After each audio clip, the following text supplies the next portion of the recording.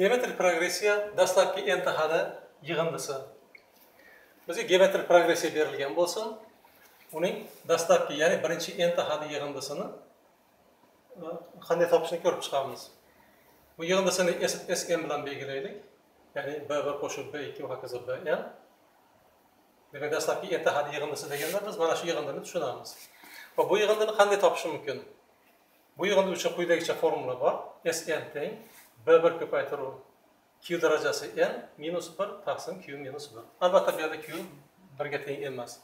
Agar birga teng bo'ladigan bo'lsa u holda biz e, ketma ketlikni hadlari barcha hadlari bir xil bo'lib qoladida.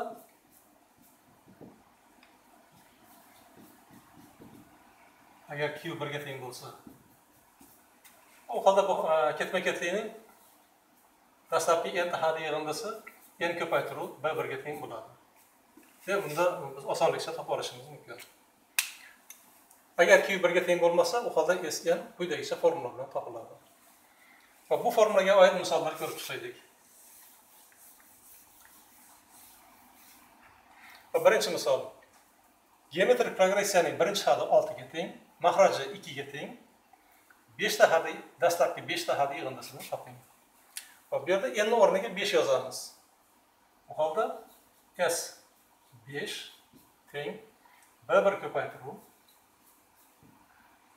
qavs ichida q darajasi 5 minus 1 taqsim q minus 1 B1 birni o'rniga 6 Q qni o'rniga 2 yozamiz bu formulada bu holda teng 6 ko'paytiruv 2 darajasi 5 minus 1 taqsim ikki minus bir. Ikki minus bir birga teng ikki darajasi besh o'ttiz ikki o'ttiz ikkidan birni ayirsak o'ttiz bir. Olti ko'paytiruv o'ttiz bir. Bir yuz sakson olti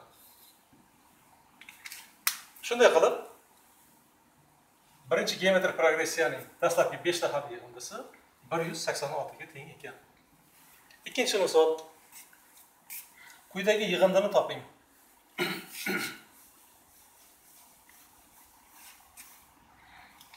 Bu yerda mana yig'indining hadlari bir ikki ikkini kvadrati ikki darajasi yetti quyidagi geometrik progressiyani hosil qiladi. Bir ikki ikkini kvadrati ikki darajasi yetti demak bu mana bu geometrik progressiyaning dastlabki yettita hadi. Yettita bir sakkizta hadi sakkizta hadi yig'indisi ekan. Mana bu. Demak bu yerda geometrik progressiyaning birinchi hadi birga teng. Birga teng. Q mahrajini topish uchun keyingi hadni oldinga bo'lamiz ya'ni ikkiga teng. Ko'rishimiz mumkin. Ikkiga ko'paytirishdan hosil bo'lyapti. Ketma ketlikni hadlarni. Bu yerda sakkizta xat bor. Bu yerdan boshlab yettita mana bir bilan sakkizta bo'ladi. Demak biz tez sakkizni topishimiz kerak. U holda mana bu formulaga ko'ra b bir ko'paytiruv q darajasi sakkiz minus bir taqsim q minus bir. B birni o'rniga bir qni o'rniga ikki yozamiz. Bu teng bir ko'paytiruv ikki darajasi sakkiz minus bir taqsim ikki minus bir. Ikki darajasi sakkiz. ikki yuz ellik oltiga teng. Bir narsa ikki yuz ellik besh mahraj birga teng. Demak ikki yuz ellik besh. Shunday qilib mana bu yig'indi. Ikki yuz ellik beshga teng ekan. Navbatdagi misolimiz.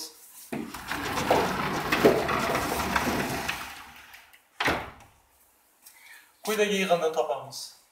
Bu yerda ham yuqoridagidek yo'l tutishimiz mumkin. Bu e, yig'indining hadlari bir minus uch uchni kvadrati yani to'qqiz va hokazo minus uch darajasi besh. Bu ham geometrik progressiyani tashkil qiladi. Birinchi hadi birga teng. Mahraji esa q teng. Mahrajni topish uchun ixtiyoriy ketma ket hadni olamizda keyingisini oldingisiga bo'lamiz. Minus uch bo'lib bir minus uchga teng. E, minus uchni ko'paytirishdan hosil bo'lyapti. Ketma ketlikni hadlari demak geometrik progressiyani tashkil qilyapti. Bu nechta xat bor bu yerda nechta xat bor. Mana bu yerda uchni birinchi darajasidan boshlanyapti bir ikki besh mana bilan oltita. Demak biz s oltini topishimiz kerak ekan. Demak mana bu geometrik progressiyaning dastlabki oltita hadini yig'indisini topishimiz kerak ekan. Buning uchun s olti uchun formula yozamiz. B bir ko'paytiruv. Q darajasi olti minus bir. Taqsim q minus 1. Endi b1 o'rniga 1 yozamiz, q ning o'rniga minus 3 yozamiz. Natijada 1 ko'paytiruv minus 3 darajasi 6 minus 1 minus 3 minus 1 natijada biz quyidagi yig'indini hosil qilamiz ifodani hosil qilamiz teng e, minus uchni oltinchi darajasi minus uchni to'rtinchi darajasi sakson birga teng ko'paytiruv ikkinchi darajasi to'qqizga teng hop.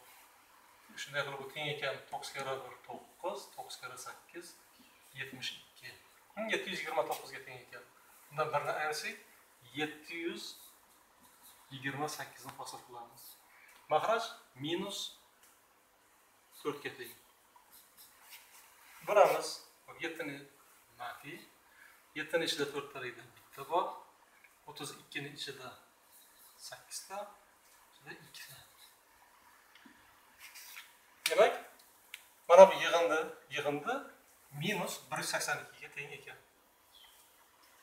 Navbatdagi misol. Geometrik progressiya berilgan. Dastlabki oltita hadi yig'indisini topamiz. Geometrik progressiyaning birinchi hadi. Ildiz ostida ikki taqsim ikkiga teng mahraji. Mahrajni topish uchun keyingi hadini oldingi hadiga bo'lamiz. Va buni unga bo'lsak ildiz ostida ikkilar ketadi bir taqsim ikki chiqadi. Buni birtasini ikkiga ko'paytirsak mana bu had hosil bo'ladi. Demak geometr progressiyani hadlari. Dastlabki olti had yig'indisi oltita had yig'indisi uchun formula yozamiz. B bir ko'paytiruv q darajasi olti minus bir taqsim q minus bir. E, bu formulaga b bir ildiz ikki taqsim ikkini qo'yamiz. B birni o'rniga qlarni o'rniga bir taqsim ikki yozamiz. Natijada ildiz ostida ikki bo'lib ikki bir taqsim ikkining oltinchi darajasi minus bir. Bir taqsim ikki minus bir soddalashtiramiz teng. Ildiz ostida ikki taqsim ikki hop ikki darajasi olti oltmish to'rtga teng. Hop bir taqsim oltmish to'rt minus 63 taqsim 64. Mahraj minus 1 taqsim 2. Hop, ikkilar qisqaradi. Hop, minuslar plus bo'ladi Demak, natijada biz 63 ilzosida 2 taqsim 64 ni hosil qilamiz.